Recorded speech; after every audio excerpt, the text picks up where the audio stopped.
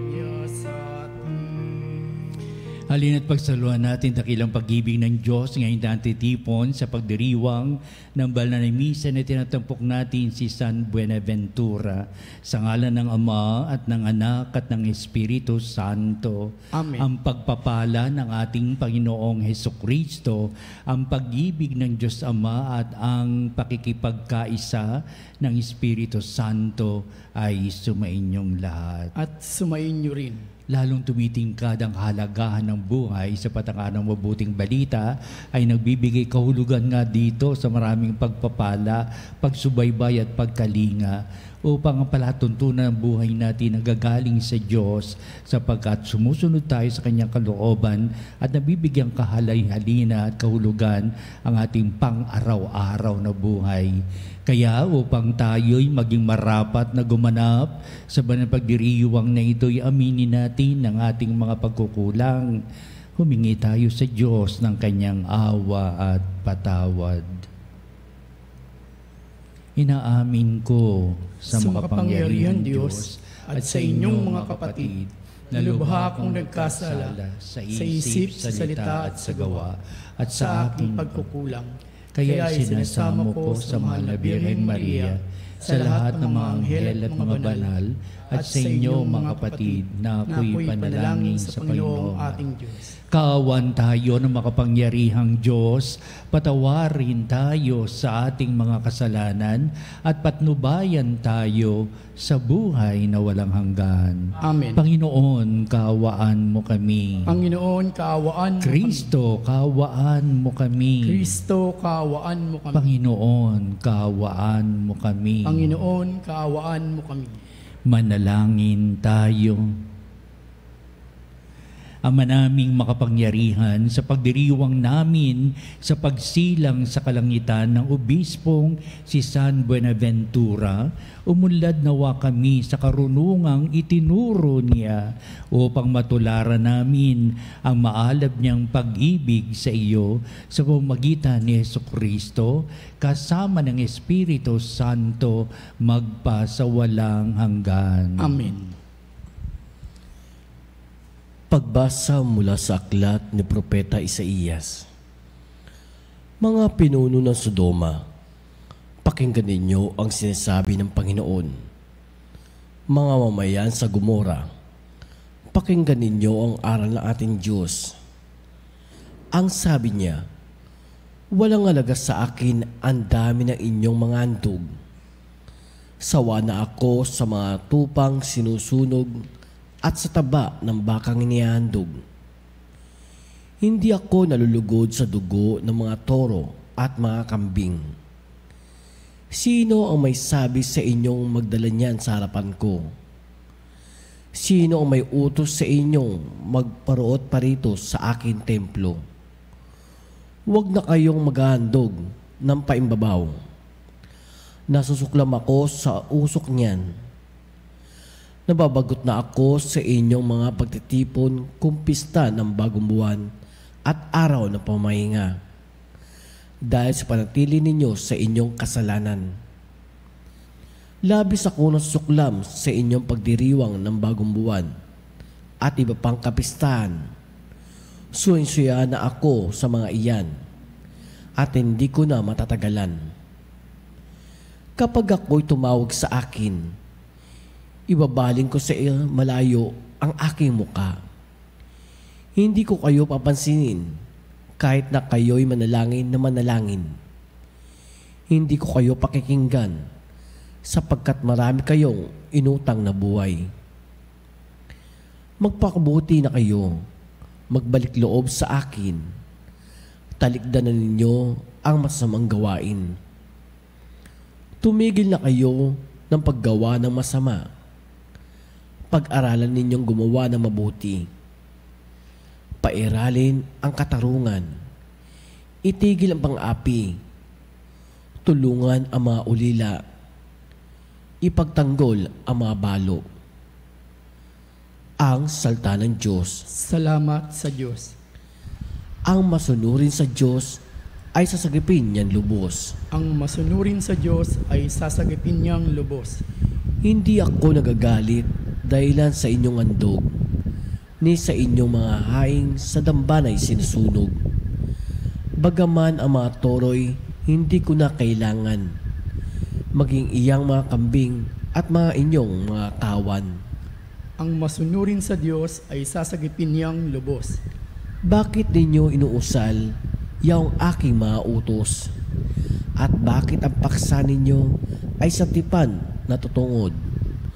Pag kayo ay tinutuwid, agad kayong napupuot at ni ayaw na tanggapin yaong aking mga utos.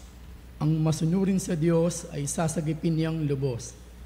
Kahit ito ay ginawa, hindi kayo alumana. Kaya naman ang akala, kayo't ako'y magkaisa. Ngunit ngayon, panahon ng kayo'y aking pagwikaan upang inyong manawaan ang ginawang kamalian ang parangal na nais ko na sa aking iaain. Ay andog ng pasalamat, papupuring walang maliw. Akin namang ililigtas ang lahat na masunurin. Ang masunurin sa Diyos ay sasagipin niyang lubos.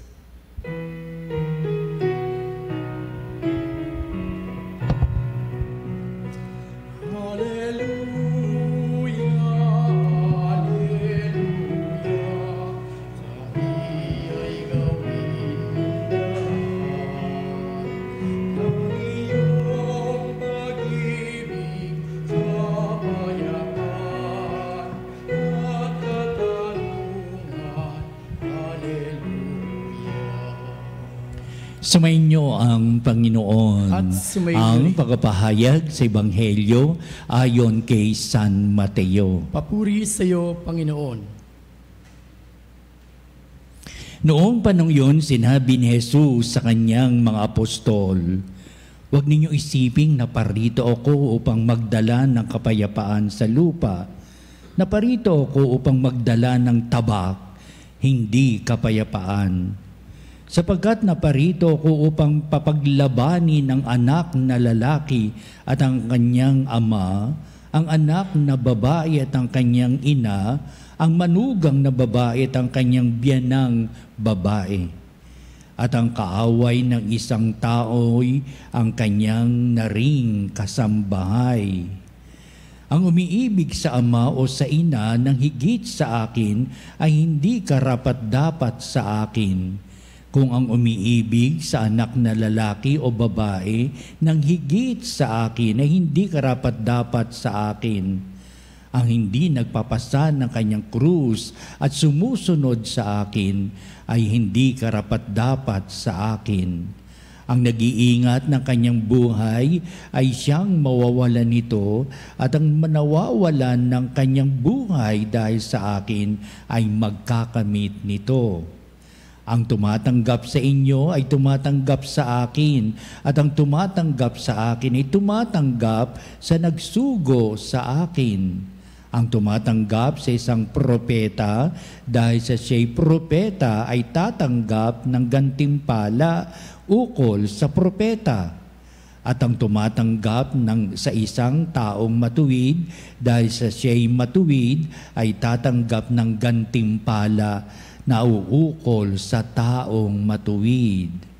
Ang sino mang magbigay ng kahit isang basong tubig na malamig sa isa sa maliliit na ito dahil sa ito'y alagad ko, tinitiyak ko sa inyo, tatanggap siya ng gantimpala.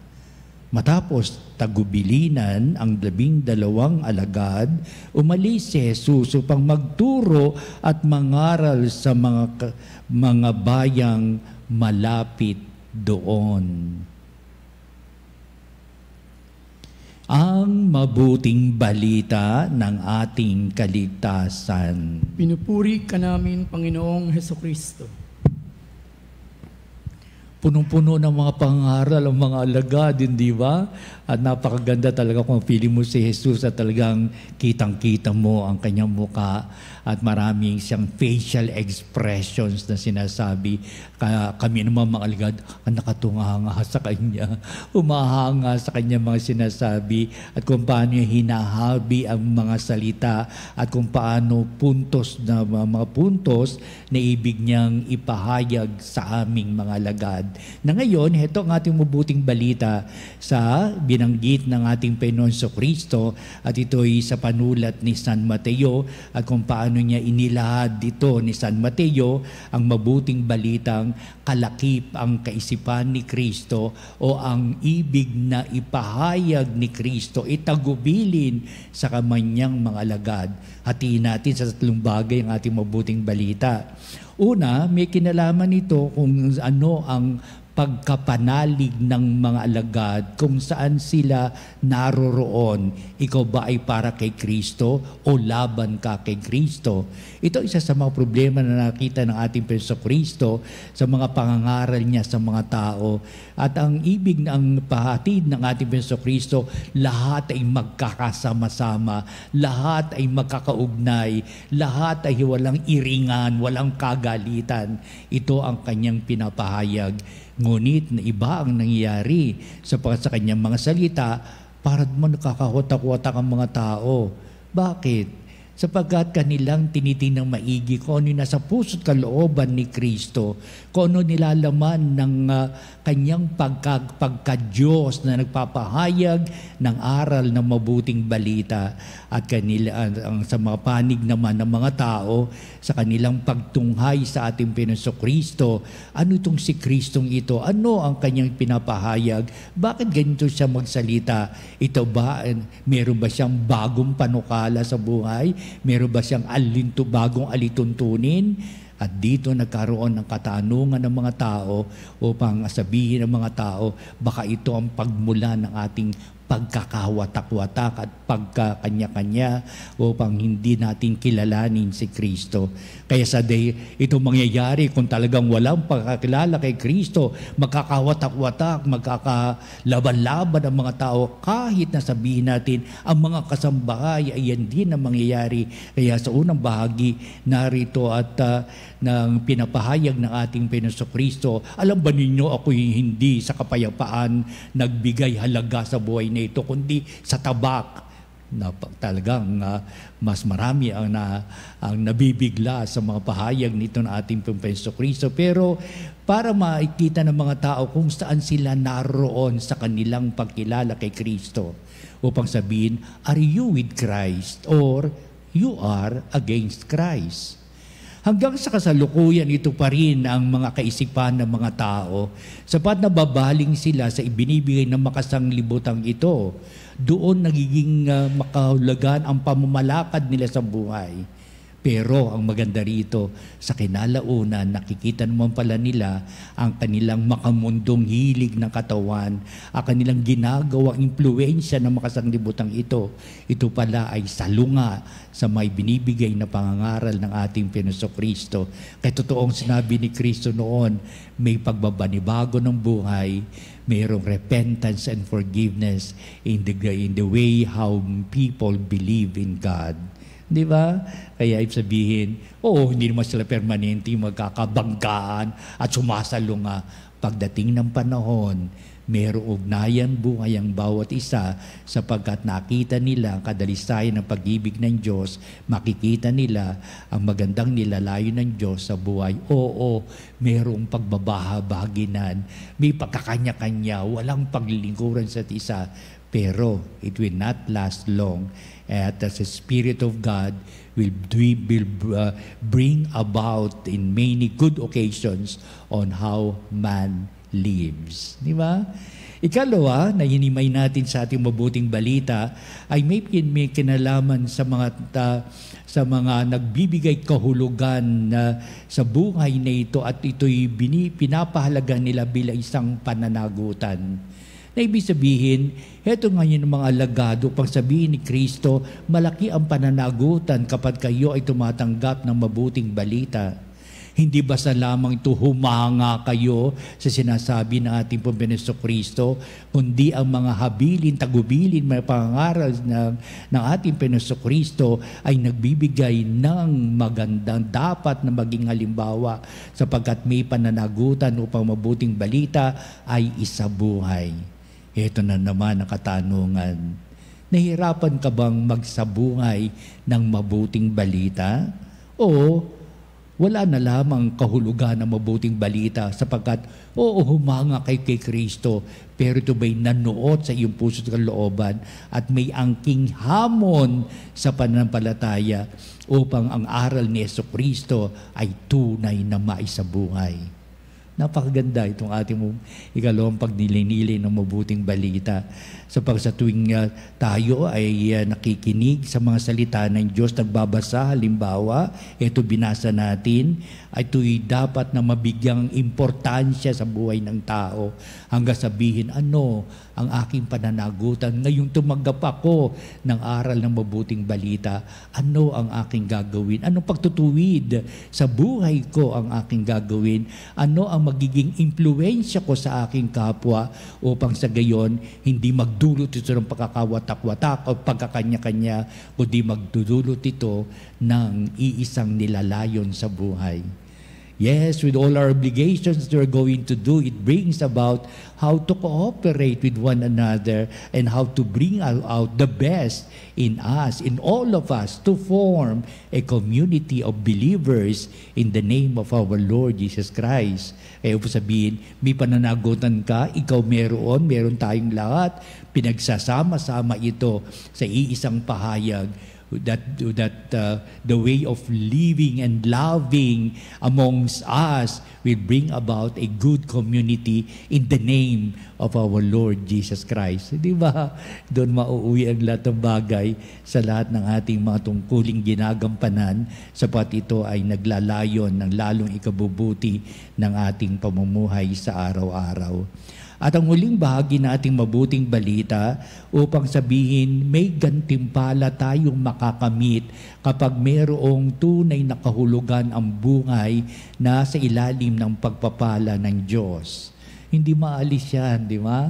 Tayo yung nagbibigay daan sa mabuting balita, meron tayong pananagutan, alam natin na mayroong magandang resulta ito bilang ito'y magiging magandang gan- gantimpala na ipinagkakaloob sa atin ng poong may kapal. Ang ah, pinakamahalagang gantimpala ay ang buhay na walang hanggan. Ito nilalay natin pong Panginoon Kristo upang sabihin ang buhay ng mga alagad na aking tinuturo ngayon ay hindi lamang buhay sa balat ng lupa, kundi buhay pa sa kabila upang ipagpatuloy ang buhay na walang hanggang kapiling ng Diyos Ama. Kaya ibig sabihin, may inilalanda si Kristo na maganda sa buhay ng mga alagad at tayo bilang mga alagad din sa sakramento ng binyag at kumpil, tayo naging mga alagad ng ating Pinoso Kristo. Nilalandas din na tayo sa magandang buhay, sa magandang kinabukasan. Sino nga ba ang ayaw na makapiling ng Diyos pagdating ng panahon? O kaya dito man sa balat ng lupa, makapiling natin ng Diyos sa matuwid nating pamumuhay. Ano pat? In the life everlasting, we will be with God forever and ever. Na babalik tayo sa ating amang lumika na, pagkakar- na pagkakalooban tayo ng maraming mga biyaya dito pa man sa balat ng lupa sapagat naghahanda tayo sa kabilang buhay tunay na makararating tayo at makapiling natin ang Diyos amang lumika sa atin. Sa kabuuan na ating mabuting balita ngayon sa kapistahan ni San Beneventura, una, pinakilala ni San Beneventura ang kahulugan ng buhay pananampalataya sa kanyang kapanahunan. At minana natin ang mga bagay na ito hanggang sa kasalukuyan. Kaya dinadakila natin ang mahal na obispong si San Buenaventura sa sa pananampalataya noon na kanyang ibinahagi, heto tayo ngayon at nagsisikap upang tayo ay manampalataya tulad nung kanyang kapanahunan in the 13th century. Nasa 21st century na po tayo upang sabihin talaga napakalaga ng pananampalataya na hindi basta-basta na lamang mawawala, kundi lalo pang pagtitibayin hanggang sa wakas ng panahon. Ikalawa, si San Beneventura ay puspos ng panalangin. Namanan natin sa mahal na obispong ito at uh, bilang uh, kaanib ng Franciscano at ang mga Franciscano, si St. Francis of Assisi, talagang huwaran yan sa panalangin.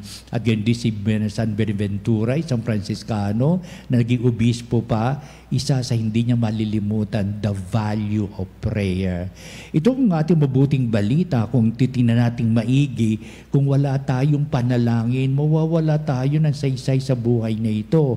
What makes life beautiful is because of our prayer.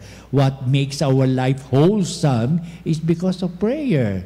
Kuha niya yan ay yan ay galing kay yan ay uh, paliwanag at yan ay nagbibigay daan sa magandang buhay ni San Buenaventura sa kanyang mapanalangin na buhay. Ikatlo at sa kabuuan natin mabuting balita sa mga dangalimbawa ni San Buenaventura, kanyang pinagtibay ang pananampalataya hanggang sa wakas. Nawa, ganun din tayo hindi mo walang ating panampalataya kundi pagdating ng panahon, lalo itong tumitibay.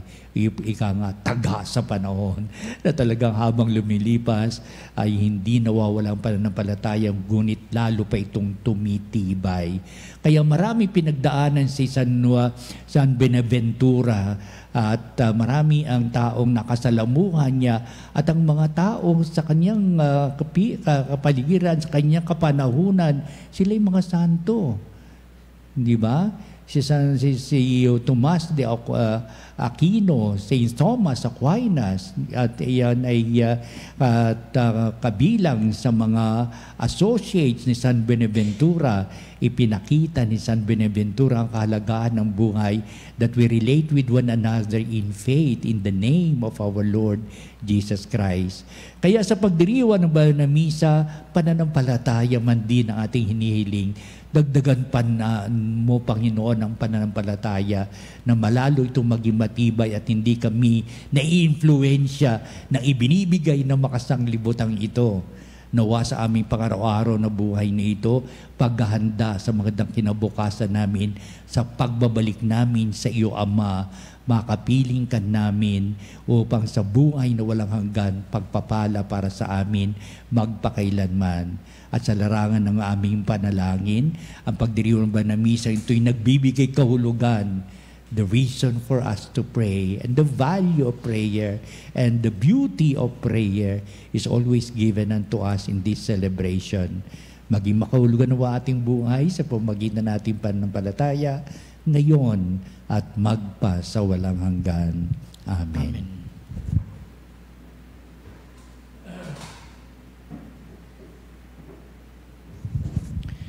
Halina makapanalig at dudulog tayo sa Diyos upang pagtibayin natin ang buhay pananampalatayang may magandang kinabukasang idudulot para sa atin.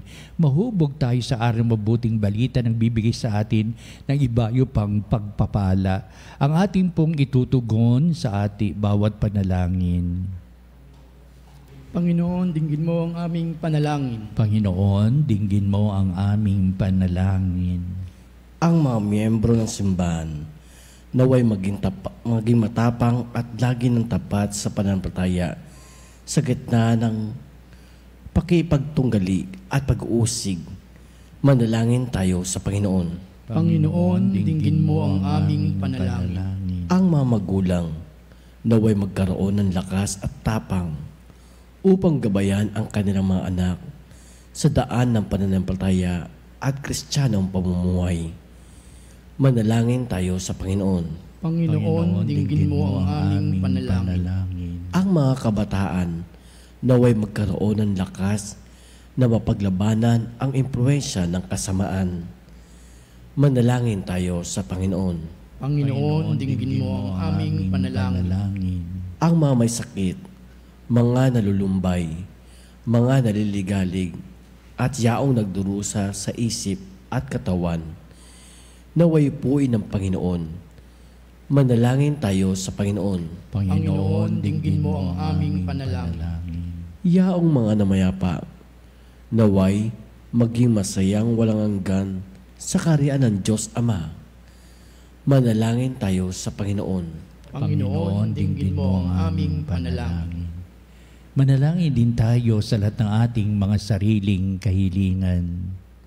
Dito natin itataas ang ating mga kahilingan sa dakilang patnubay ng Diyos sa ating mapanalangin buhay at sa ating wagas na pag-ibig sa Diyos sa isa upang mailandas tayo hanggang sa buhay na walang hanggan. Kaya madigin mo po ang aming mga pagdulog, ibig namin makamit sa buhay na ito. Tunay na pagpapalang nakip, ng ugnayang buhay namin sa isa sa larangan nitong tigib ng pananampalataya. Kaya ang lahat na ito iniling namin sa pamagitan ni Kristong ating Panginoon. Amen.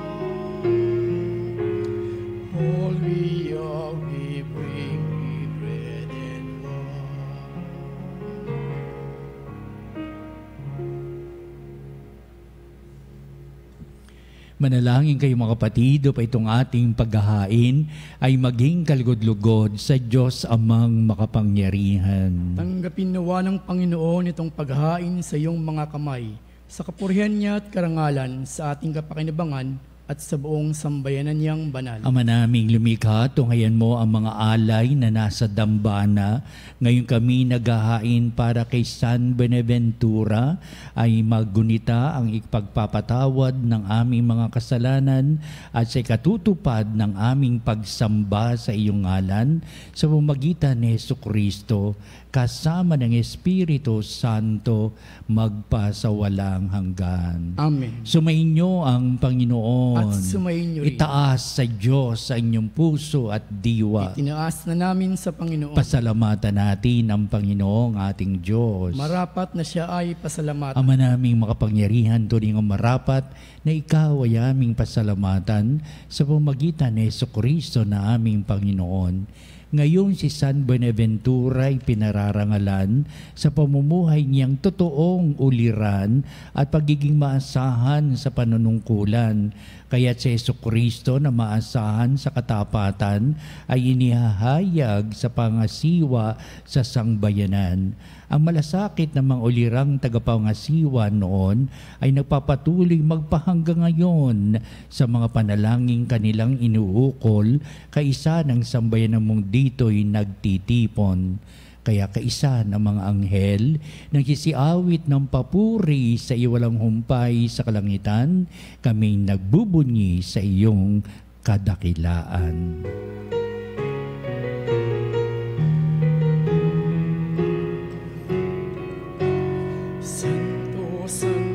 Santo, Santo,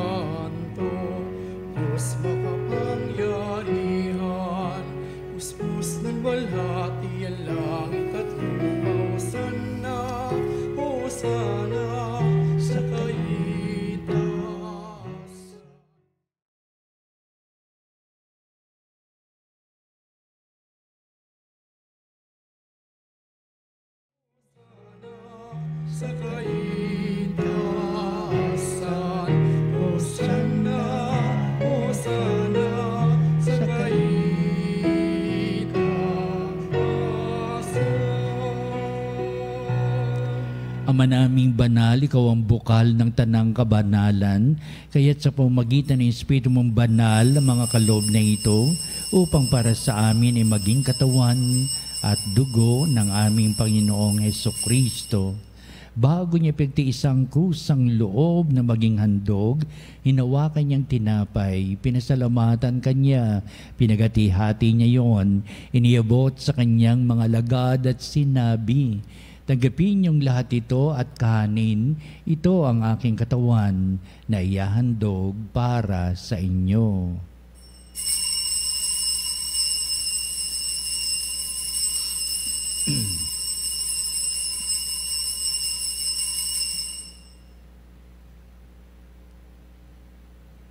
Gayun din naman, pagkatapos ng hapunan, hinawakan niya ang kalis, muli kanyang pinasalamatan, inibot niya ang kalis sa kanyang mga lagad at sinabi, Tagapin niyong lahat ito at inumin ito ang kalis ng aking dugo ng bago at walang hanggang tipan. Ang aking dugo ni bubuhos para sa inyo at para sa lahat sa ikapagpapatawad ng mga kasalanan. Gawin niyo ito sa pag-alaala sa akin.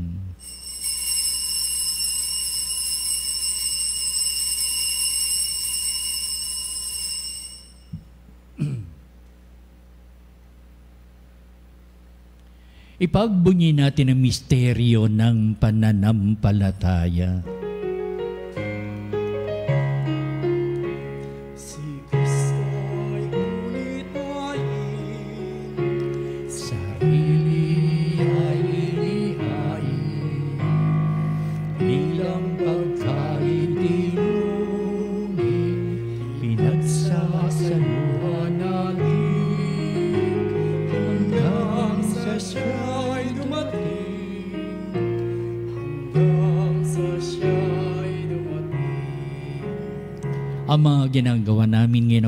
ng pag-alaala sa pagkamatay at muling pagkabuhay ni anak. Kaya tiniali namin sa iyo ang tinapay bibigay buhay at ang kalis na nakakaloob ng kaligtasan. Kami nagpapasalamat dahil kami minarapat na tumayo sa harap mo para maglingkod sa iyo.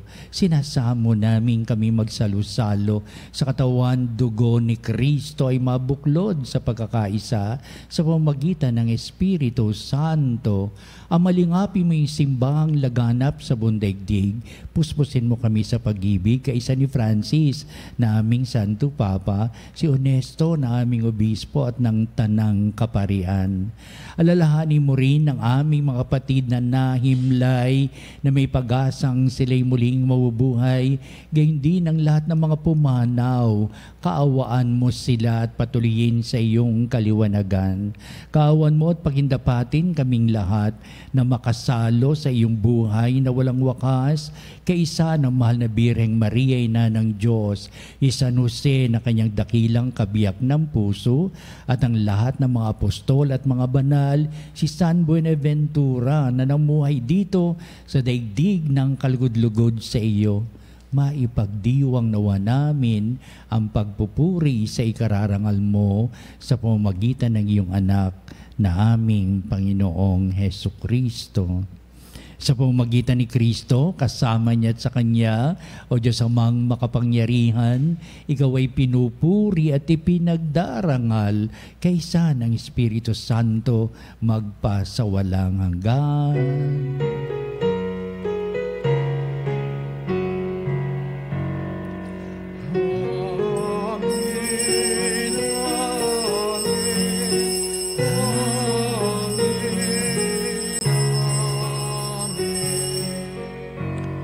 Isang matibay ng pananampalataya na bigay daan upang tayo higit na makapanalangin at manindigan sa aral ng mabuting balita.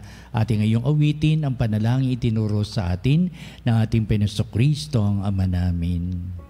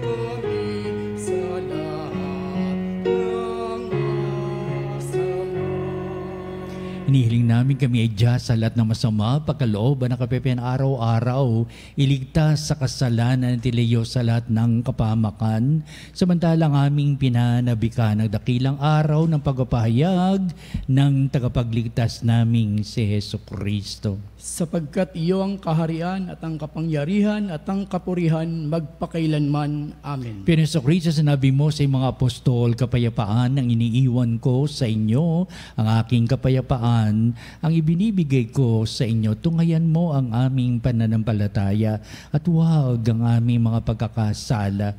Pagkalooban mo kami na kapayapaan at pagkakaisa ayon sa iyong kalooban, kasama ng Espiritu Santo, magpa sa walang hanggan. Amen. Ang kapayapaan ng Panginoon ay laging sumainyo. At sumayin niyo rin. Magbatian tayo at magbigay ng kapayapaan sa isa't isa. Peace be with you. Peace with you.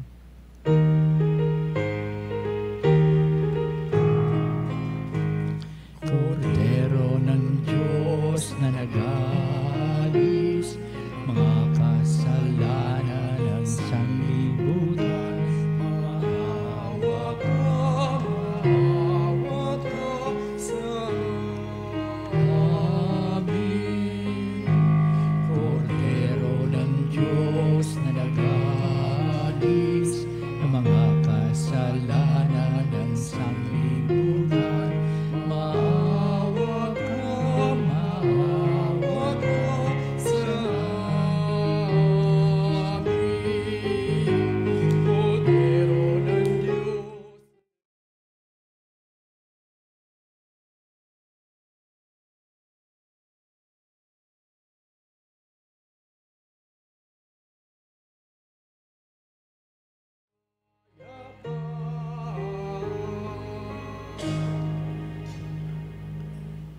Tunghayan natin ang ating Panginoon Kristo ang dakilang pag-ibig ng Ama. Siya na nag-aalis ng mga kasalanan ng sanglibutan, makapala na matinatawag sa piging ng kordero.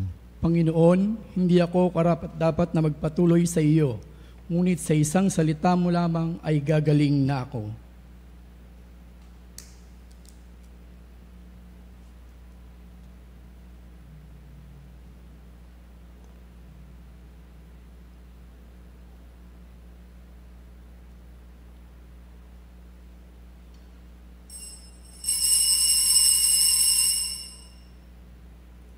Mga kapanalig, ating dasalin ang komunyong espiritual.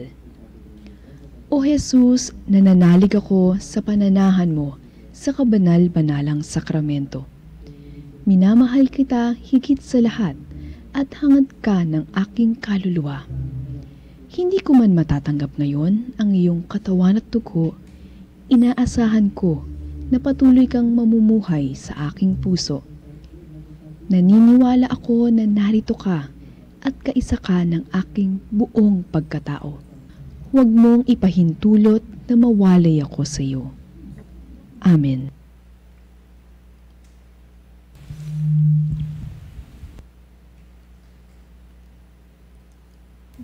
Panalangin sa mahal ng Carmelo. Santa Maria, mahal ng bundok ng Carmelo, nagpakita ka kay Simon Stock upang gabayan kami sa aming paglalakbay sa lupa at bigyan ng pag-asa sa aming buhay, lalo na sa oras ng paghirap at tiisin. Inihandog namin sa iyo ang aming sarili at kalooban. Pagpalain mo at gabayan ang aming mahal sa buhay, pamilya at bayan. Itinataas namin sa inyong pamamagitan ang aming saya at kalungkutan, tagumpay at kabiguan, kasaganaan at kahirapan, kalusugan at karamdaman. May aalay nawa ito sa iyong anak na si Jesus upang magkamit para sa amin ng mga pagpapala. Isinasamo namin o katamis-tamis ang ina na lagi mo kaming samahan. Huwag mo kaming iiwan at pababayaan, lalo na sa panahon ng pagsubok at kapigatian.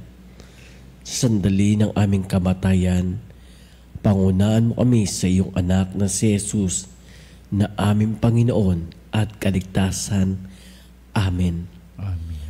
Mahal na ng Carmelo, ipanalangin mo kami. mo kami. Manalangin tayo. Ama naming mapagmahal, kami nagsipakinabang ay dumadalangin ang pinanaligan ng uliran naming si San Beneventura ay maipahayag namin at ang itinuro niya ay nagawa naming ganapin sa pamagitan ni Yeso Kristo kasama ng Espiritu Santo magpa sa walang hanggan. Amen. Susunod po natin ang pagtatangha sa kabalbalan ng sakramento sa altar sa ating pumunting pagtatanod sa kalakipang ating panalangin at sa huli ito ang magbibindisyon sa atin bilang pagwawakas itong ating banal na gawain. Ang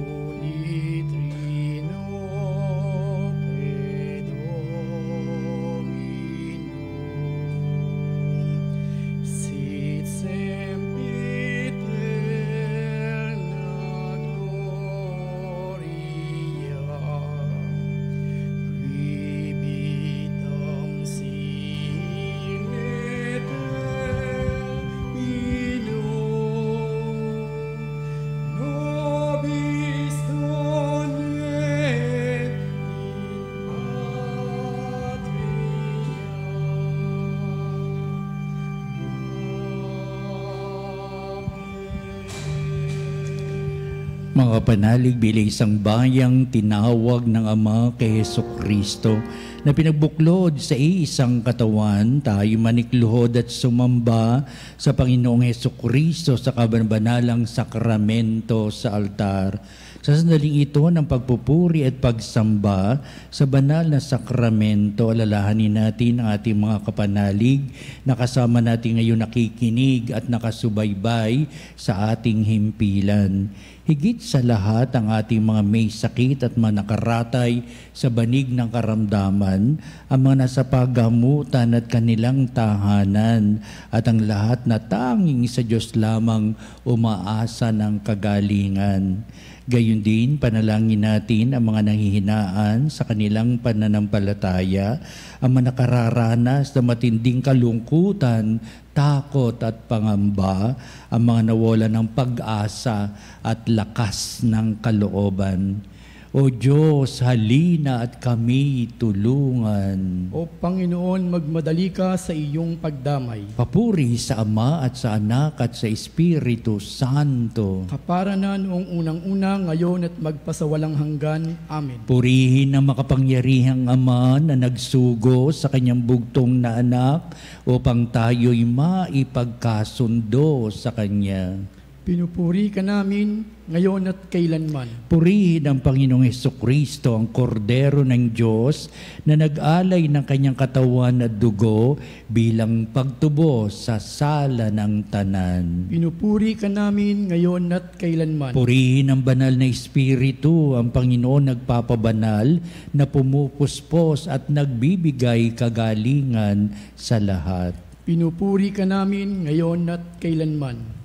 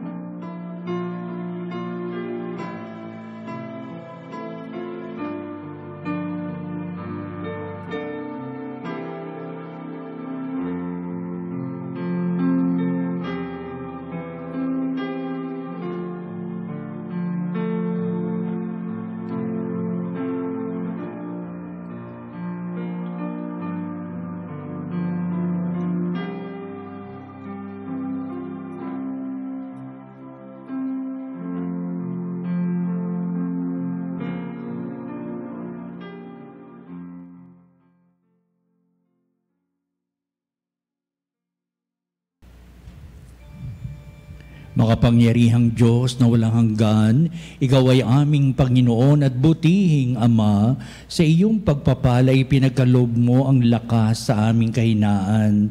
Tungayan mo po ng may kagandang kalooban ang iyong mga lingkod na may sakit at karamdaman, ang mga nababalisa at nawawalan ng pag-asa, ang mga natatakot at nalulumbay, at ang may matitinding suliraning taglay at pinagdaraan ng hirap sa buhay at ang mga nasa bingit ng kamatayan.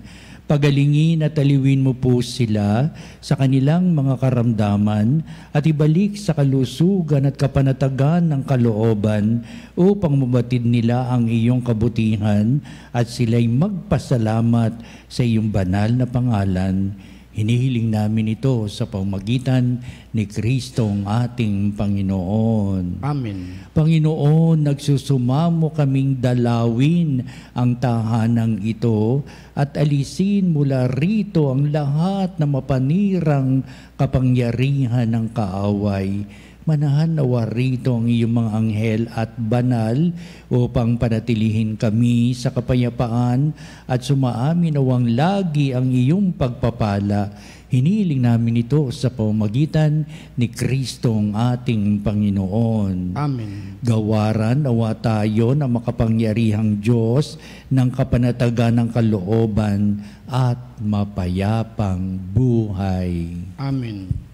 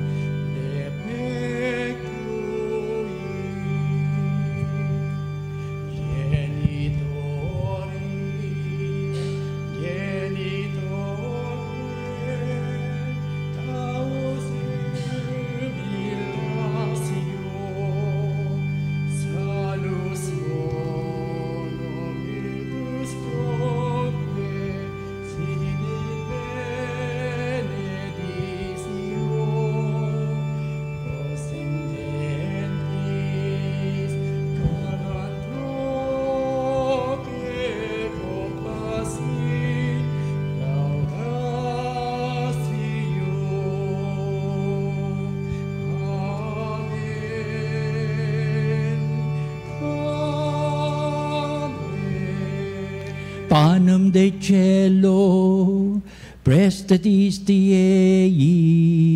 Omne declamentum insem habente. Oremus. Deus qui nobis sub sacramento mirabili, passiones tui memoriam reliquisti, tribue quesimus, itanos corporis et sanguinis tui sacra mysteria venerari, ut redemptiones tui fructum in nobis iuditor sensiamus, qui vives et reinas in secula seculorum. Amen.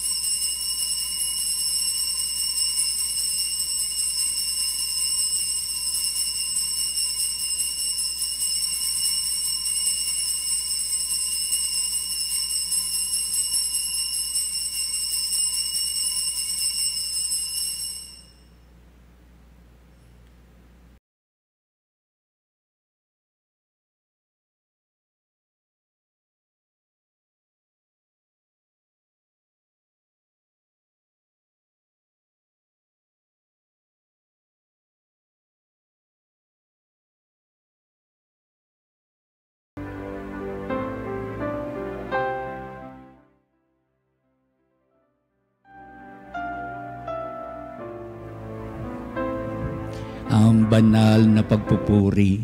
Purihin ang Diyos, Purihin ang kanyang purihin ang kanyang banal na pangalan. Purihin si Yesu Kristo, Diyos na totoo at tao namang totoo. Purihin si Yeso Kristo, Diyos na tao ng mga taong totoo. Purihin ang ngalan ni Jesus. Purihin ang ngalan ni Jesus. Purihin ang kanyang kabana-banalang puso. Purihin ang kanyang kabanal-banalang puso. Purihin ang kanyang kamal-mahalang dugo. Purihin ang kanyang kamahal-mahalang dugo. Purihin si Yesu Kristo sa banal na sakramento sa altar. Purihin si Yeso Kristo sa banal na sakramento sa altar. Purihin ang Espiritu Santo ang mga aliw. Purihin ang Espiritu Santo ng mga aliw. Purihin ang dakilang ina ng Diyos si Maria Santissima. Purihin ang dakilang ina ng Diyos, si Maria Santissima. Purihin ang kasinisang paglilihi sa Kanya. Purihin ang kalinis-linisang paglilihi sa Kanya. Purihin ang kanyang malulhating pag-akyat sa langit. Purihin ang kanyang malwalhating pag-akyat sa langit. Purihin ang ngalan ni Maria, Birhen at Ina. Purihin ang ngalan ni Maria, Birhen at Ina. Purihin si San Jose, ang kanyang kasinisang esposo. Purihin si San Jose ang kanyang kalinis-linisang esposo. Purihin ang Diyos sa kanyang mga anghel at mga santo. Purihin ang Diyos sa kanyang mga anghel at mga santo.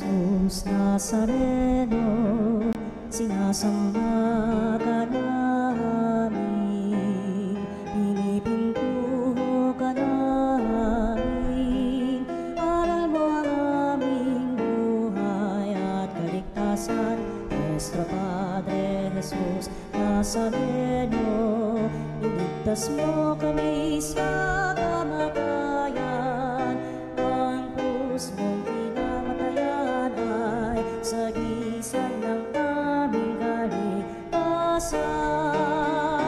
Nuestro Padre Jesus Nazareno, dinarangal ka namin. Nuestro Padre Jesus Nazareno, inulwalhati ka